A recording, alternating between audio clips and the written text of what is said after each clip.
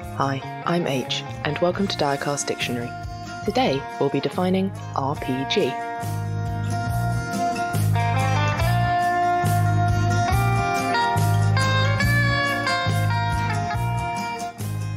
So, what is an RPG? Our resident newbie Helen tells us RPG stands for role play game, and that's where we do group storytelling using a pre made system based around rolling dice. Thank you, Helen. You're quite right that RPG stands for roleplay game. However, while on Direcast we generally do roll dice and explore different pre made systems, RPGs don't necessarily have to involve either of those things. Role playing is generally defined as acting out a role, where a person takes on the characteristics of a character or of another person.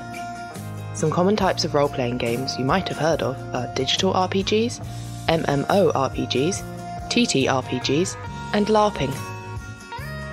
A digital role playing game is what a lot of common video games are. Digital RPGs include Animal Crossing, The Witcher games, and Final Fantasy. An MMORPG stands for Massive Multiplayer Online Role Playing Game, where players from all over the world play in the same online environment.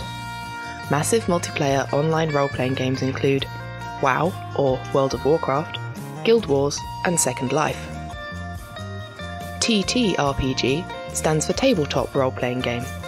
Popular examples include Dungeons and Dragons, Pathfinder, or Vampire the Masquerade. These are what we play on Direcast. And finally, LARP stands for Live Action Roleplay. Whereas the other examples involve more imagination, LARP often involves props and costumes. Examples include Renaissance fairs and university campus games like Assassins. And so concludes your Direcast Dictionary. Let us know if you'd like to cover any other terms. Thanks for listening. See you next Friday for an all new episode of Direcast.